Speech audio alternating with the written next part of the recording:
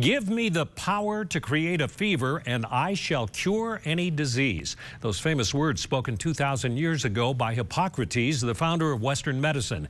It is now what medical professionals call hyperthermia therapy, literally heating up cancer cells to target tumors.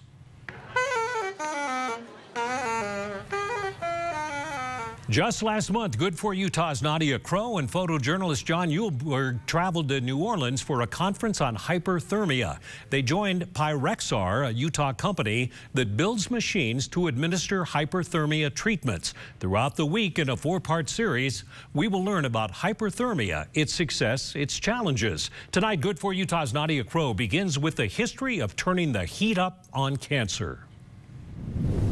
Historians declare the first written reference to hyperthermia was found in Egyptian scrolls 5,000 years ago.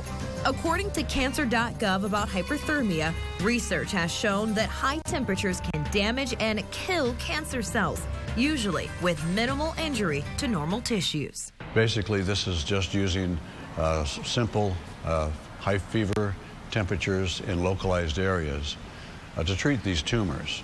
So it's a very natural process to the body. What's old is new again. Knowledge discovered by the ancient Egyptians now used in modern medicine. Salt Lake City and the University of Utah has actually been uh, very much involved in hyperthermia in the early years.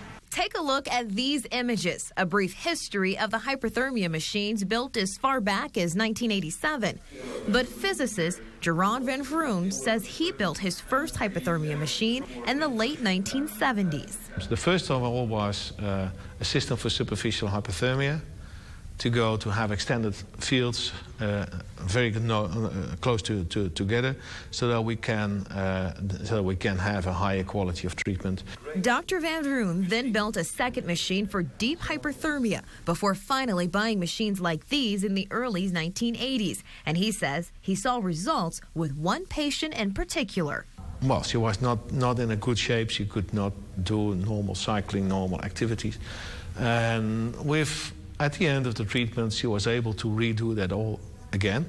Tumor disappeared uh, and everyone was happy. Some success stories sparked more trials. Just take a look at the ever developing technology and hyperthermia machines. But overall, Dr. Zeljko Vujaskovic at the University of Maryland Medical Center says the enthusiasm quickly died down with bad clinical trials. A perception at the time was that hyperthermia was not effective and um, uh, Uh, after that, there was a decline, especially in the United States, in the use of hyperthermia. And Nadia joins me now live, obviously. you, you said in your report hyperthermia has been around for a long time. Absolutely. I've never heard of it being used in, in Utah or any news of it along the Wasatch Front. That, well, it's not. There's a good reason for that because it's not being used at the Huntsman Cancer Institute or at Intermountain Medical Center. We see it being used in other countries with clinical trials and evidence that it works, but it's underutilized in the U.S. and not at all here along the Wasatch Front. Incredible story. You've got four parts to this. What can we expect over the next several days? Well, today we talked about the history, so why we're seeing some of the challenges now. Tomorrow we'll embark on how it works, so how we're using that technology to heat up those cancer cells. And we'll also hear from a patient who says it's been the reason why he's still living. It's extended his life. Um, and then we'll talk about why we're not seeing it here along the Wasatch Front. That's the big question, and there there's an answer. We talked to Huntsman Cancer Institute. We talked to Intermountain Medical Center. They share why they don't believe in hyperthermia therapy. So many therapy. of us are affected by cancer. An intriguing story. Thank you very much. Thanks, Good job. Thanks.